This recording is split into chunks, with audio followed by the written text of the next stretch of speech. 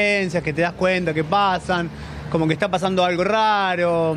Eso. Por parte de, de- de- de la banda en general, ¿viste? No sé. Esto pasa en todas las bandas, ¿no? Digamos, desde los Rolling Stones hasta los Beatles, siempre hay como diferencias musicales, diferencias de opinión.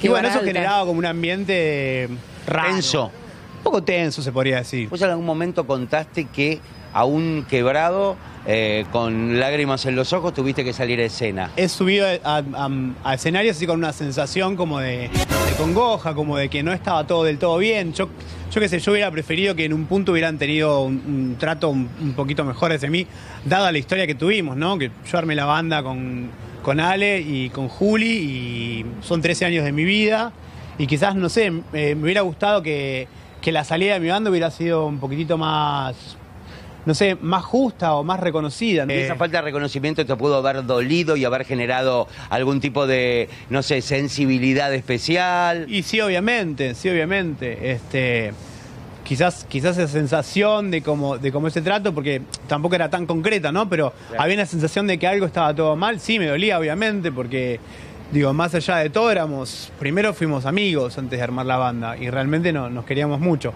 ¿No te llamaron ni Sergi ni Juli?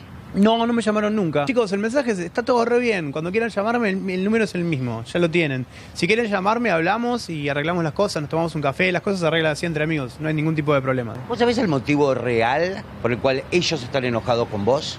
No, me encantaría saberlo. Me encantaría tener una charla para eso también. Vos te sentaste y le dijiste no me siento cómodo, me voy. Contame esa escena. Y mira, la verdad es que esa escena es- está, en- yo no puedo hablar mucho porque está en manos de abogados, está en los juzgados. Se fue como desgastando la cosa, más ¿Te vale. fuiste con un portazo? Eh, no, no me fui con el portazo. Yo nunca pego portazos.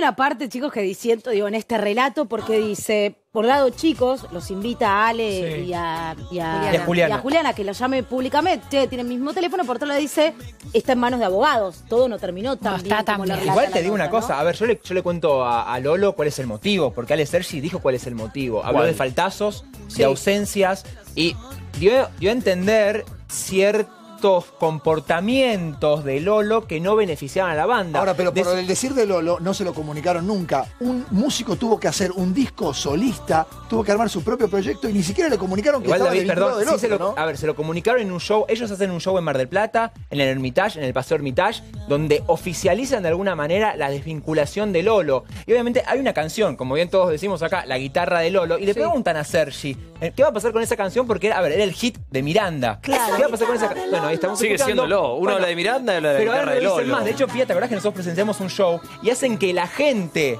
Eso que hacen como un- en una especie de playback y que la gente eh, Diga Lolo, replique claro. esa frase. ¿Eso es por una cuestión legal, Guido, Guido, de que ellos como banda no pueden decir esa frase? No, Que no, no, es una cuestión de que la guitarra. Ahora hay otro No sé, guitarrista. pero tribunales hay de por medio. Por eso mismo, significa un que- trasfondo la legal La está hay. relación está complicada. muy bien. Sí. Lolo se tuvo que ir a México durante un tiempo muy largo. Después ahora viene la producción de Igual su si registraron la frase es de la banda, no de Lolo. Gracias a la madre. Sí, vamos a seguir escuchándolo porque es una nota que recién recibimos, está en crudo y él sigue contando. Mira, Lolo, ¿cómo te encuentra este presente? Este presente me encuentra fantástico. Mira, si querés te lo muestro a cámara. Lolo, simple. Es tu presente. Sí, acabo de sacar mi disco este, en abril. Tengo una banda, estuvimos girando por, por Chile, estuvimos en Mendoza, en San Luis. Estamos haciendo fechas, a- hicimos esa fue la, como la gira invernal y ahora vamos a hacer como la gira boreal. Este, mm, empezamos por un boliche en Guidos y bueno, después vamos a recorrer toda Argentina, los puntos principales, Córdoba, Rosario, este, los que nos faltan y esperemos llegar al sur y bueno, esa es la idea. Este, era a, ir a- México, yo qué sé, todo, todos los puntos que recorrí antes con mi banda anterior. No querés decir Miranda. ¿Eh? Yo qué sé, sí, Miranda, es Miranda, mi amor. Perfecto. No, igual nada, digo, yo qué sé. No, porque ya estaba pensando, Es tenés... una, es una banda la cual, la cual yo armé, digamos, con, con Alejandro y con Julia, así que bueno, nada, viste. Eh, uno a pesar de, de- las vivencias y de la vida y cómo se van sucediendo las cosas, nunca reniega de su su primer amor, digamos, armamos una banda y funcionó. Estaba pensando que tu presente es bueno, tu futuro probablemente mejor, pero hablaste de un pasado tortuoso con la banda que vos formaste. Entonces me gustaría saber un, un poco más, algunos pormenores de, de tu paso por Miranda, cómo fueron. Y mira, yo sentía como que había cierto ambiente de hostilidad, ¿no? Me sentía como eso. ¿Por qué? Eh, la verdad que ¿En no qué sé. lo sentías, digo? ¿En qué? Y quizás podría ser en algunos tratos, viste, yo qué sé, algunas diferencias que te das cuenta que pasan, como que está pasando algo raro. Eso, es, viste, era una sensación que yo tenía y bueno, nada. ¿Por parte de eh, los dos cantantes o de, de alguno de los dos en particular? No, por parte de, de- de- de la banda en general, viste, no sé. Esto pasa en todas las bandas, ¿no? Digamos, de los Rolling Stones hasta los Beatles, siempre hay como diferencias musicales, diferencias de opinión. Y bueno, eso generaba como un ambiente raro. Tenso. Un poco tenso, se podría decir, sí. Perfecto. Vos en algún momento contaste que aún quebrado, eh, con lágrimas en los ojos, tuviste que salir a escena. Y que eso te hizo sentir un poco desprotegido o algún sentimiento parecido a la desolación. ¿Es así? Bueno, sí, no sé si tanto a la desolación, porque tampoco es ¿no? la aguja que mueve mi, mi mundo. Pero sí eh, he subido a, escenarios así con una sensación como de, de congoja, como de que no estaba todo del todo bien. Yo, yo qué sé, yo hubiera preferido que en un punto hubieran tenido un, trato un, poquito mejor hacia mí, dada la historia que tuvimos, ¿no? Que yo armé la banda con, con Ale y con Juli y son 13 años de mi vida.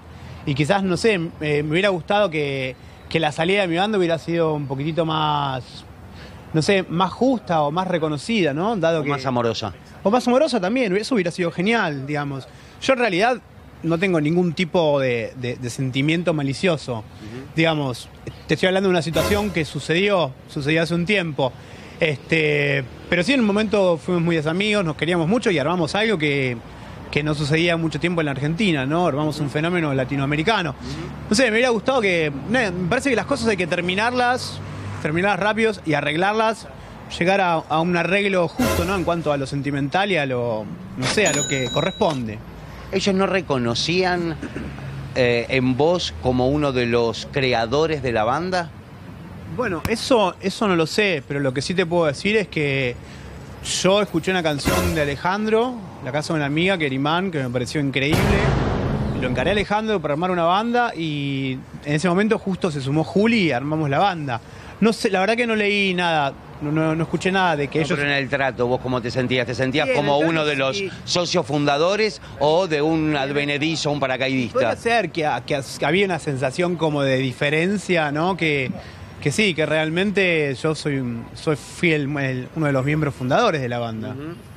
Así Y que... esa falta de reconocimiento te pudo haber dolido y haber generado algún tipo de, no sé, sensibilidad especial. Y sí, obviamente, sí, obviamente. Este, quizás, quizás esa sensación de cómo, de cómo ese trato, porque tampoco era tan concreta, ¿no? Pero había una sensación de que algo estaba todo mal. Sí, me dolía, obviamente, porque, digo, más allá de todo, éramos. Primero fuimos amigos antes de armar la banda y realmente no, nos queríamos mucho.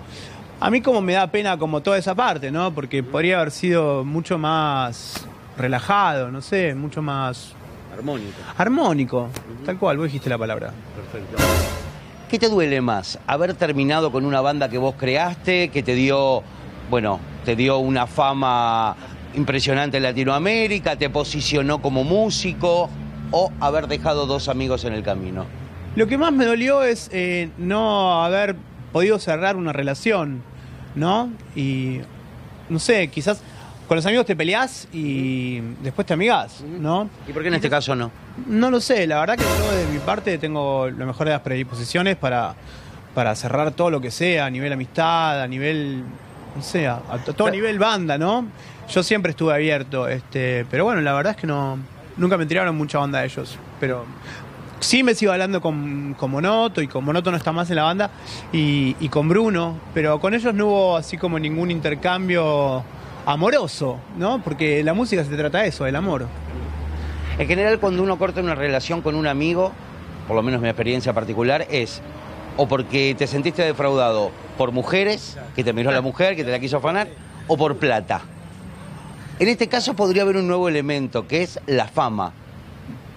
¿Algo de eso pudo haber ocurrido? La verdad que no lo pensé nunca y me parece como un tercer elemento bastante banal, digo, yo qué sé. eh, El dinero también es banal. sí, no, digo, pero más allá del dinero, el, el- el sentimiento, ¿no?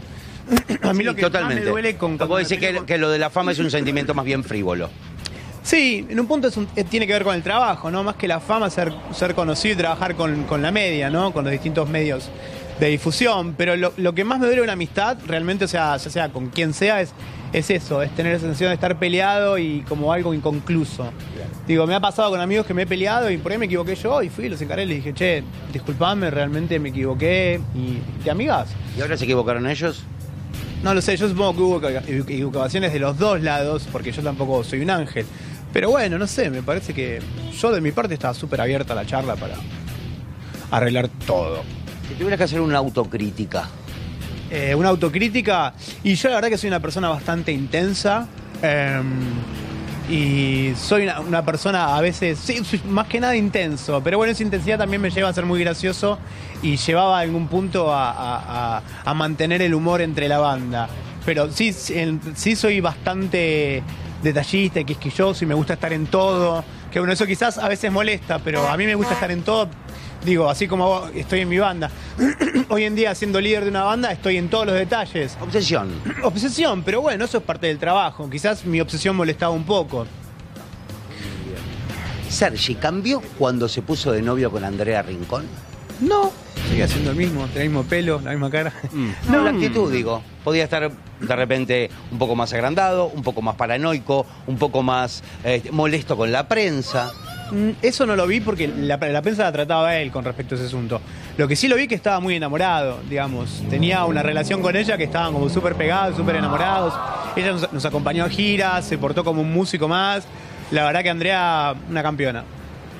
Nada para decir en No, contra pero inclusive, nada, ayer estaba viendo el otro día un gallo para Esculapio que también soy actor y bueno, estuve en una, una escena con Brandoni y la veía Andrea y la verdad que bueno, de alguna manera somos compañeros de tira, yo hice un bolo chiquito, pero la vi muy bien y, y me dio mucho gusto verla.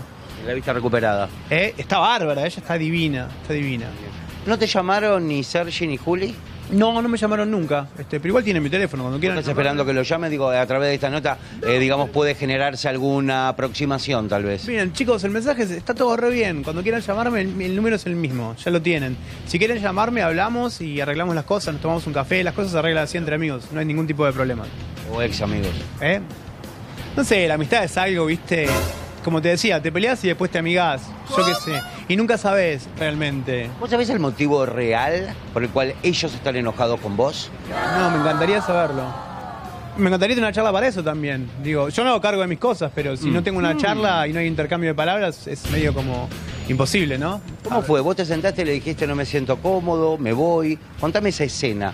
Y mira, la verdad es que esa escena es- está, en- yo no puedo hablar mucho porque está en manos de abogados, está en los juzgados y yo eso se lo dejo a, a los abogados, ¿viste? Hay, hay cosas que yo no, no puedo hablar. Ni, Pero cómo era, estaban los tres, ustedes tres juntos, estaba toda la banda. Digo, más allá de detalles, la una, un pantallazo. Se fue dando la situación, ¿viste? Hasta que culminó. No, no hubo un, un hecho así como concreto, se fue como desgastando la cosa, más ¿Te vale. fuiste con un portazo? Eh, no, no me fui con el portazo, yo nunca pego portazos. Yo cierro ¿Hubo gritos? No, gritos tampoco. No, el melodrama está en las canciones de Miranda. Bien. ¿Blasfemias? No, menos. No, blasfemias no. ¿Una No, puteadita? no tampoco. No vale la pena. Después te arrepentís. ¿Para qué? habré- ¿Para qué le habré dicho esa mala palabra? No vale la pena porque después te arrepentís. Digo, mi, mi experiencia de vida, cuando me he peleado con amigos con palabras fuertes, después me arrepentí mucho. Entonces, nada, teniendo 42 años aprendes. En esta oportunidad no, no hubo palabras, por lo menos de lo que se comúnmente se eh, dice, malas palabras. Me imagino que debe haber cosas que te hirieron más que una mala palabra. Sí, hubo sensaciones como de heridas, pero no hubo palabras concretas así realmente malas palabras o palabras con realmente hirientes. ¿Lloraste después de... ¿Es verdad que sufriste bullying por parte de Luciano Castro cuando eras chico? Sí, un poco sí. Compartimos... ¿Cuántos años? Y hasta quinto grado. Pero también, eh, yo qué sé, en esa época era distinto a como es ho- ahora. ¿Por qué? Y porque ahora está todo mucho más registrado, porque la gente está más consciente. Y porque quizás en esa época mm, la sociedad te llevaba a eso. ¿Y a vos por qué te discriminaba o por qué te hacían bullying? Yo qué sé, porque era como raro, no sé. Yo también daba tela un poquito, ¿no? Para cortar. Fue una cosa de, de- de- de la primaria, digamos, un par de veces y también igual él después tenía una deferencia de decir, che, no, está todo bien, como no es mal pibe.